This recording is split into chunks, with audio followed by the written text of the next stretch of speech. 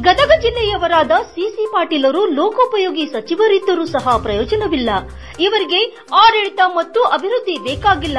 ಕೇವಲ ದುಡ್ಡು ಮಾಡುವುದಷ್ಟೇ ಬೇಕು ಎಂದು ಗದಗ ಜಿಲ್ಲಾ ಕಾಂಗ್ರೆಸ್ ಅಧ್ಯಕ್ಷ ಹಾಗೂ ಮಾಜಿ ಶಾಸಕ ಜಿಎಸ್ ಪಾಟೀಲ್ ಬಿಜೆಪಿ ಸರ್ಕಾರದ ವಿರುದ್ಧ ಕಿಡಿಕಾರಿದ್ರು. ಗದಗ ಜಿಲ್ಲೆಯ ರೋಣ ಪಟ್ಟಣದ ಕಾಂಗ್ರೆಸ್ ಕಚೇರಿಯಲ್ಲಿ ಮಾಜಿ ಪ್ರಧಾನಿ ಇಂದಿರಾ ಗಾಂಧಿಯವರ ಪುಣ್ಯಸ್ಮರಣೆ ಹಾಗೂ ಸರ್ದಾರ್ ವಲ್ಲಭಾಯಿ ಪಟೇಲ್ ರವರ ಜಯಂತಿ ಆಚರಣೆಯಲ್ಲಿ ಮಾತನಾಡಿದ ಅವರು, ಜಿಲ್ಲಾದ್ಯಂತ ರಸ್ತೆಗಳು ಹಾಳಾಗಿವೆ. ನಮ್ಮ ಜಿಲ್ಲೆಯವರೇ ಲೋಕೋಪಯೋಗಿ ಸಚಿವರಿದ್ದರೂ ಕೂಡ ಪ್ರಯೋಜನ ಇಲ್ಲದಂತಾಗಿದೆ.